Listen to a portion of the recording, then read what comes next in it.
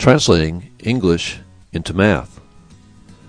An important skill in algebra is being able to translate English into algebraic expressions and equations. Algebra is a more efficient and compact language than the written languages. Yes, it lacks the richness of the descriptors of modern languages, but is powerful in being able to use in computers, calculators, and in being able to be represented in charts and graphs.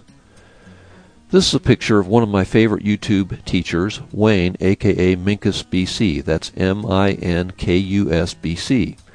This is his YouTube video introduction to solving word problems. I agree with him that what are called word problems in reality are really translation problems. In order to translate, it helps to have a dictionary. Here's a one-page dictionary I've placed together. I've used Wayne's as a format for mine. You might want to make a copy of this.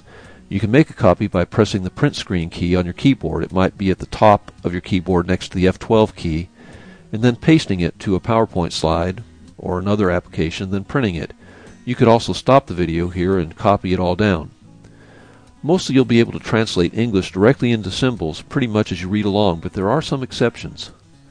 Less than. If you read the English phrase 10 less than a number, you may be tempted to write 10 minus n. In algebra, when you see this, you must place the variable n first, followed by minus 10 for an answer of n minus 10. Subtracted from. If you read 5 subtracted from a number, that would translate to x minus 5. When you see the phrase product of 6 and a number, the first thing to do is write down a multiplication sign, such as a dot, then place the 6 to the left of that dot and n to the right of it. It's the same for the phrases quotient of, difference of, and sum of. You just need to start out with a division sign, a subtraction sign, or a, a plus sign, respectively. Let's go over some examples. 9 less than 12. Translated into algebra, it's written 12 minus 9. Do you see how the less than is a switch phrase? You need to switch the order of English to be able to properly translate into algebra.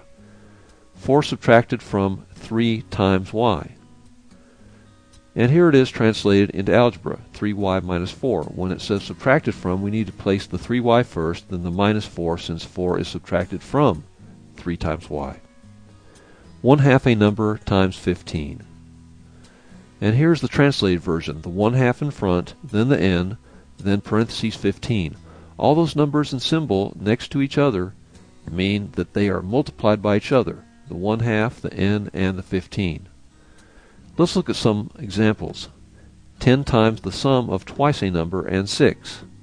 This translates to 10 next to the quantity 2n plus 6, which are inside parentheses. Note that when you see the word sum of, what comes after that needs to go inside parentheses. 18 times the difference of a number and 10. This translates to 18 times the quantity n minus 10. Note that immediately after the words difference of what is next, the n minus 10, goes inside parentheses. 8 times the quantity y plus 2 divided by 4. This translates into 8 times the y plus 2 inside parentheses, and then 4 at the bottom of the division bar.